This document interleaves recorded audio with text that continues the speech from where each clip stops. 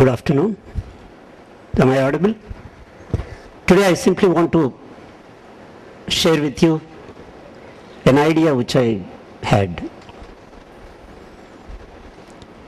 And this is something to do with the our attitude towards things around us.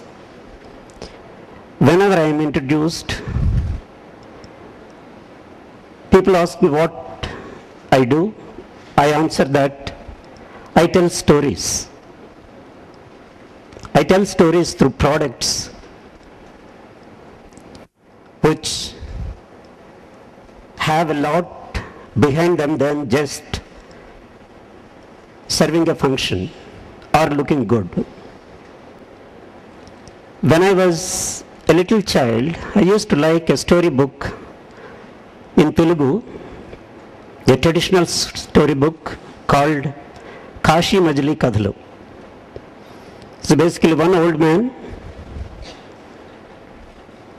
and a little boy to carry his belongings go on a pilgrimage to Kashi. In those days, you're supposed to die in Kashi in order to go to heaven. And on the way they stop, and every time they stop, the little fellow goes to the market to buy provisions, and on the way he finds some curious object. He brings it to the old man and says that, please tell me the story behind this object. And the old man has a magical gift to tell and to know the story behind everything around. And these stories have made this book. I have grown up, but I still believe that everything is around us has a story to tell. It's not just a product for service. Therefore, I chosen the topic for today. Watches don't tell time. Time is actually an incidental thing. They tell stories. My favorite character is Mullah Nasruddin. Many of you may have known him. He inspires me and guides me. I thought today I should start my talk with this crazy wise man. Mullah Nasruddin had a buffalo coming to his house, which has got very wide horns. And whenever he looked at it, Mullah felt quite imaginative, you know. He felt that how wonderful it would be to sit in the middle of those horns and it will be just like sitting on a throne. One day, probably God granted his wish, the animal came close to him and sat.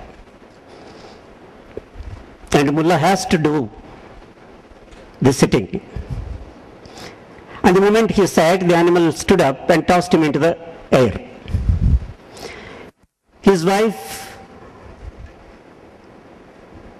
seeing the husband thrown onto the floor with probably some, some bones broken, started weeping. Mullah, when he came around, said, Don't weep, you fool.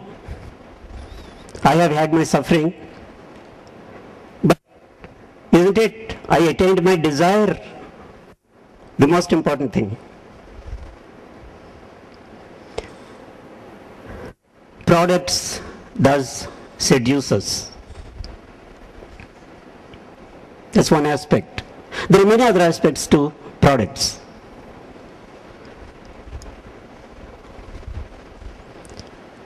Many of you are familiar.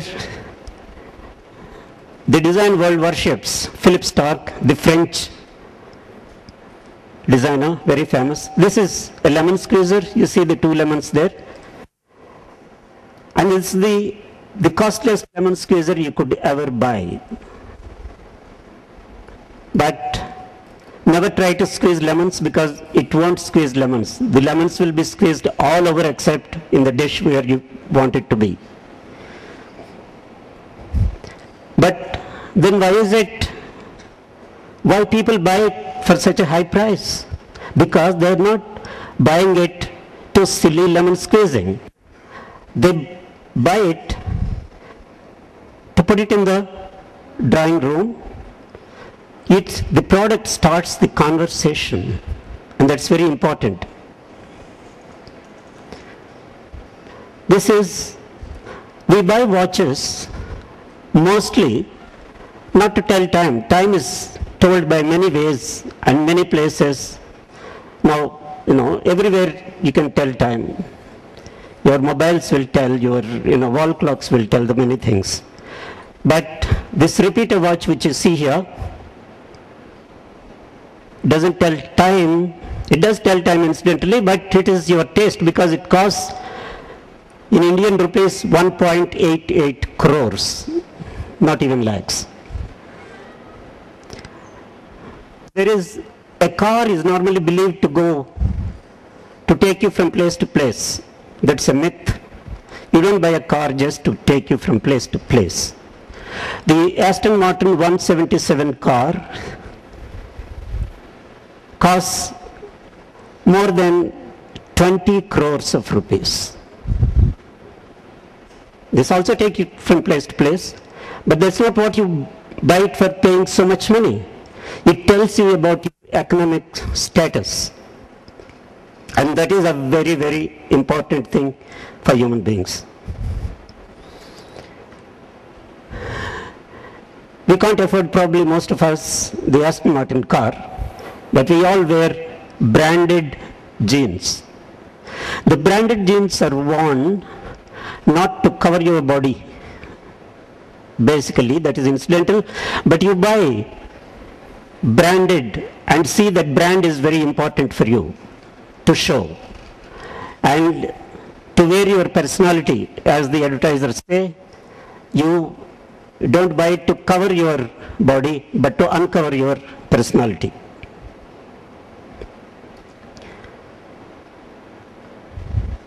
Products not only show some other things of yourself, but they make you forget the pain. Pain, who cares? My friend once went to the doctor complaining of a severe pain. The doctor examined her and said, uh, Madam, you are wearing very narrow and very high heel shoes. Please change them and that will be all right. She said, no, no, no, no, no, no, doctor. How can I do that? This is the fashion of the day. I would rather change my doctor.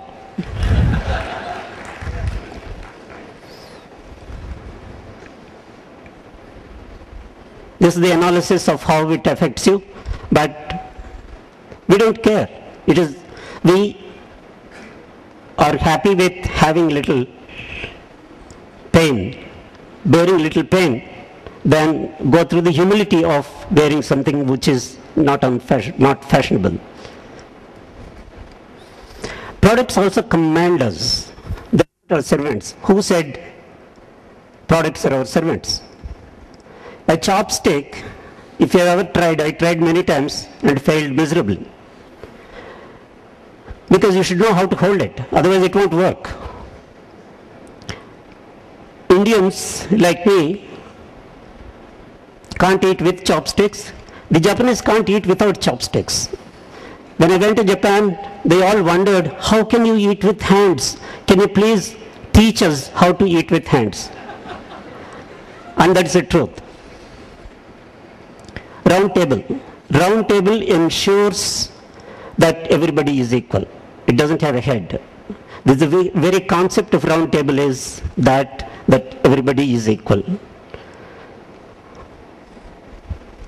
The sofa, there are semicircular sofas which encourage intimacy.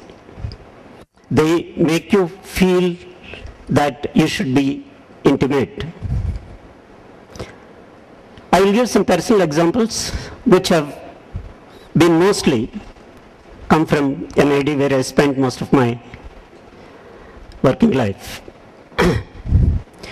In the beginning, when NID was getting established, a great technician called Professor Hancock from England had come. He was establishing the NID workshops, which are kind of very important in a design institute. When he came here in the workshop, he saw all these carpenters. They were all sitting on the floor like this and using their legs and hands and all parts of the body as vices and all that and started cutting. And he felt these people need to be taught, taught scientific way of working and so he immediately ordered very ergonomically calculated and designed tables for them. Still, the workers were reluctant to use them. So one day, Professor Hancock really shouted at them and said, tomorrow when I come to the workshop, if I see anybody not using these work tables, which are specially made for you, I will sack that person. So the carpenters very dutifully agreed and said, nodded, yes, sir. Next morning, Professor Hancock entered the workshop and all the workers are using the work tables. But how? It's like this.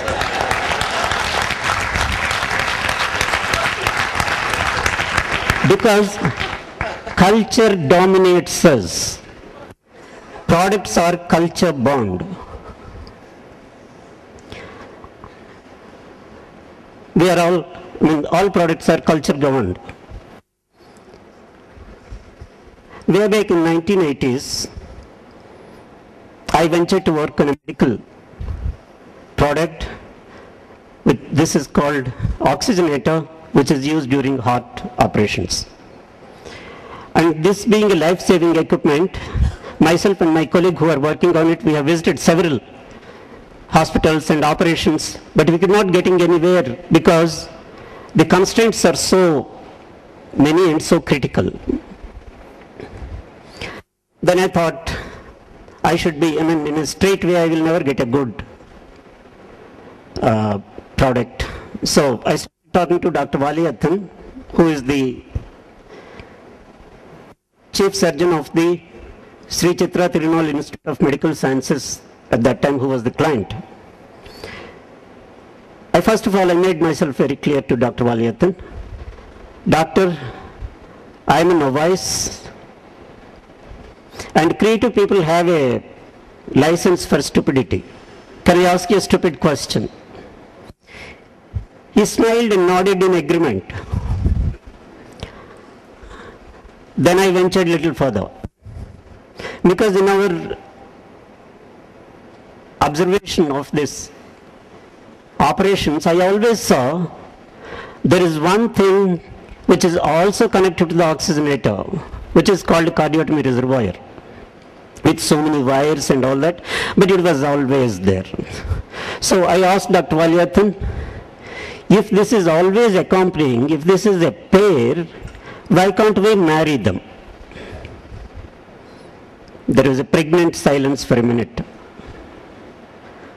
And then after that, Dr. Valiathan said, yeah, why not? That is how the world's first combined oxygenator and cardiotomy reservoir has been born and this has gone on to win the NRDC award, national award.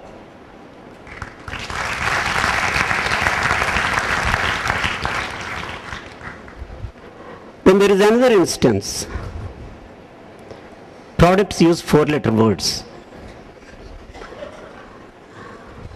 Once we, at the NID, there was an international conference on design and aesthetics, and one great journalist, he's not there now anymore, Ramesh Thapar, had given the keynote address. He talked very eloquently about the beauty and ugliness, about the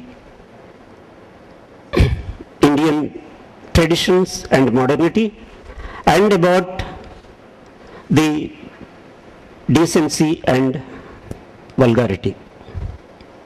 He spoke so eloquently, even after the lecture is over, everybody was still thinking on this, particularly this word vulgarity.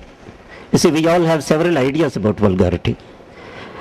So, we went for lunch, myself, he, and the then director, and we ordered, we went to a, a traditional Gujarati restaurant called Sabar, and we ordered a Gujarati meal.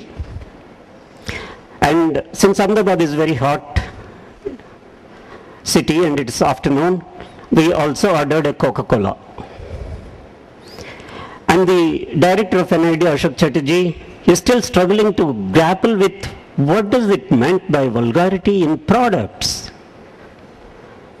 So,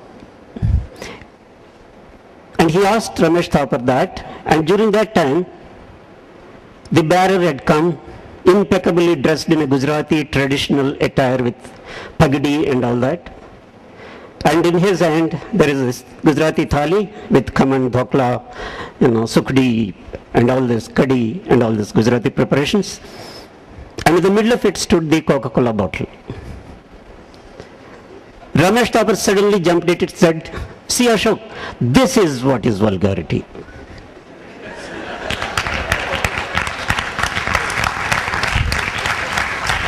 Gujarati thali is very beautiful. Coca-Cola bottle is also very beautiful. But the combination, yeah.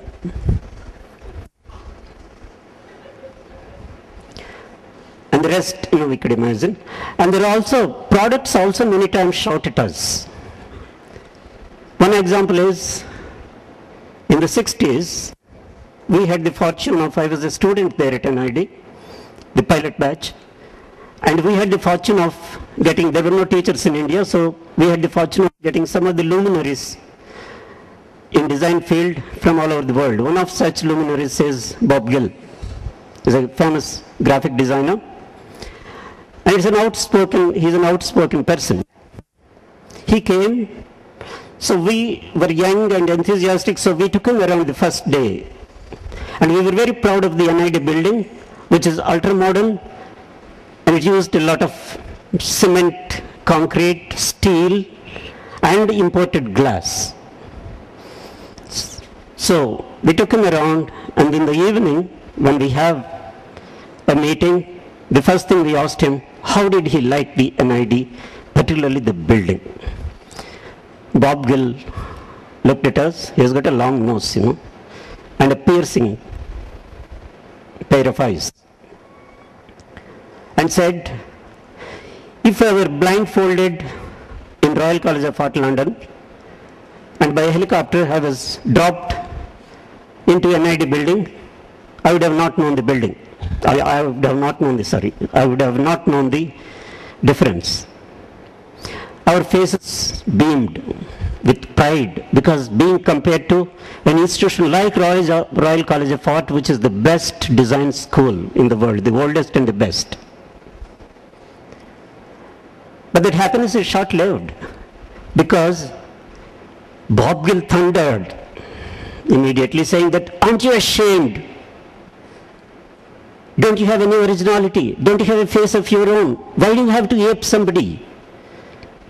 Isn't it not having a face is better than, a death is better than not having a face? We don't know where to look. And the NID building always reminds me, whenever I design or I teach students, is it your identity? Do you have your identity or it is somebody's you're aping? This is the NID building. It's a lovely building, but it keeps warning me. This is with the Bob Gill's grilling.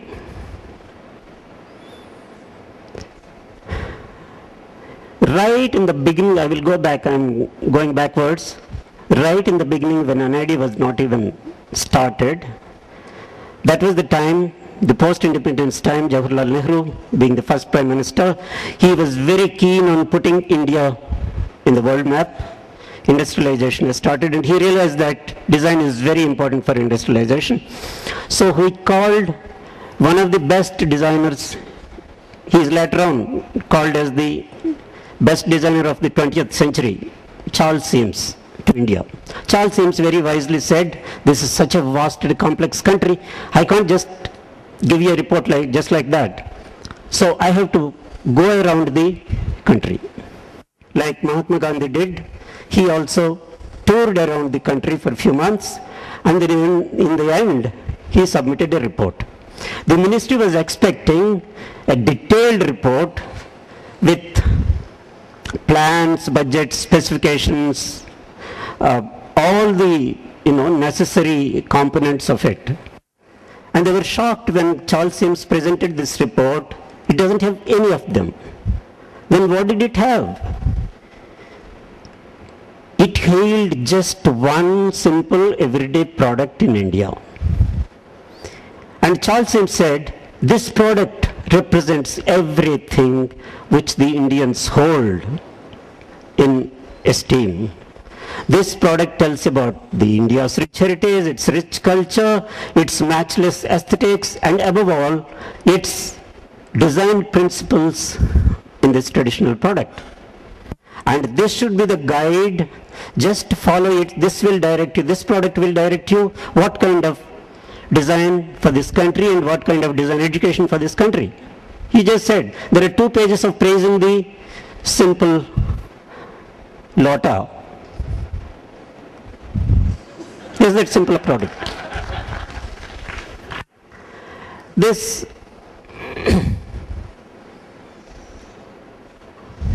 told me this Lota every time tells me we never thought till Charles Eames came and pointed out we didn't know the story behind this Lota. Everybody used it, but we never knew. But now we look at it differently. He changed the whole attitude of us. And so now I keep it as a kind of best God designed product because nobody designed Lota. It is kind of evolutionary design, therefore it is perfect. For any creator, be it a designer, artist, sculptor, or dancer. A product is a medium which it, he is looking for the spiritual attainment. The legendary Balasaraswati, the famous Bharatanatyam dancer, her last wish was to die dancing. On her deathbed, she hardly, hardly could get up.